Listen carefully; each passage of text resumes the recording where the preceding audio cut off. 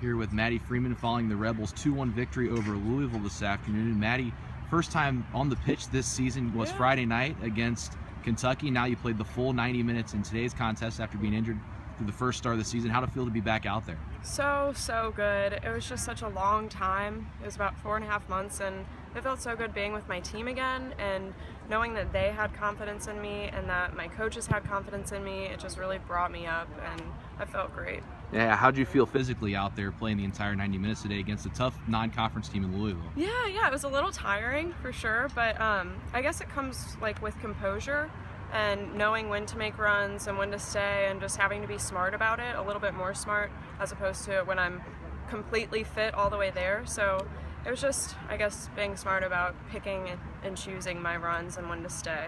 How important was it for the team to bounce back with a win after suffering the first loss of the season against Kentucky on Friday night?